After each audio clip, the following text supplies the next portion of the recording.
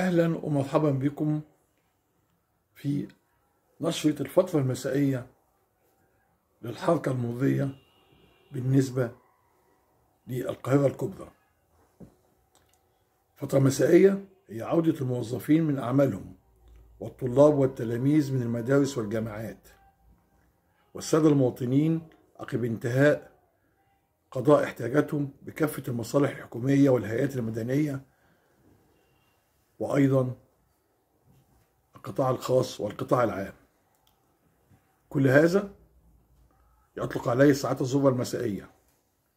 لذلك تم تعزيز الخدمات على الكباري ومطالع ومنازل الكباري والميادين الهامة والطرق الرئيسية بالإضافة إلى تعزيز الخدمات المضية على الطرق السريعة الصحراوية والزراعية بمناسبة عودة السادة المواطنين ذهابا وإيابا إلى المحافظات الأخرى والمطلة على القاهرة الكبرى. يمكن أهم ما لدينا اليوم تم افتتاح كوبري كفر الدوار العلوي بطريق القاهرة اسكندرية الزراعي. هذا الكوبري بطول 625 متر عرض 42 متر وعدد حاراته خمس حارات ذهابا وخمس حارات إيابا. هذا الكوبري هيساعد بشكل كبير على تسهيل الحركة المضية وتخفيف الضغط المروري على طريق القاهرة إسكندرية الزراعي.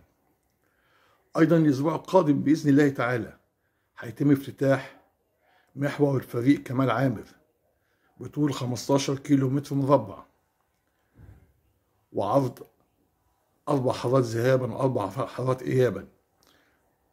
هذا المحور هيربط شمال الجيزة بجنوب الجيزة.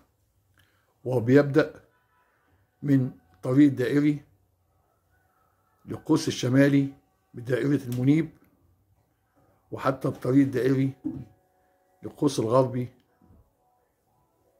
بدائرة إمبابة وحتى كوبري تحيا مصر. هذه المحاور الجديدة والكباري الجديدة هتساعد بشكل كبير على تسهيل وتسهيل الحركة المضية كوبري 15 مايو ما زال يشهد كثافات متحركة في ساعات الذروة المسائية بسبب الإغلاقات الجزئية والخاصة بأعمال التطوير وأيضا إنشاء محور 26 يوليو الجديد واللي هيكون طفرة في تخفيف الضغط المروري على محور 26 يوليو الحالي حيث أنه سوف يستقبل السيارات القادمة من شارع أحمد عرابي وحتى طريق القاهرة اسكندرية الصحراوي. أيضا محور صلاح سالم بيشهد حاليا كثافات مرورية متحركة في الاتجاهين مسطح أرضي. لذلك بننصح السادة قادي السيارات القادمين من شرق القاهرة ومطار القاهرة الدولي سلوك كوبري الفنجري المعدني اتجاه نفق الأزهر اتجاه مناطق وسط المدينة. أما القادم من مناطق الدراسة والعباسية اتجاه ميدان العروبة فمن الأفضل السلوك المسطح الأرضي لشارع امتداد رمسيس اتجاه طريق النصر حتى يمكن أن نخفف الضغط المروري على محور صلاح سالم. الطرق السريعة داخل القاهرة الكبرى تشهد بعض كثافات المرورية وأبرزها أعلى لمنيب اتجاه منزل شارع البحر الأعظم لذلك بنفضل استكمال الرحلة اتجاه أعلى الدائري اتجاه المحاور الجانبية الرئيسية المربوطية والمنصورية. مناطق وسط المدينة الحمد لله سيولة شرق القاهرة الحمد لله سيولة شمال القاهرة بعض الكثافات المتحركة اتجاه دوران شبرا لكن تحت السيطرة الميدانية. نلتزم بتعليمات رجال المرور في الرحلة المسائية وإن شاء الله رحلة موفقة للمصريين.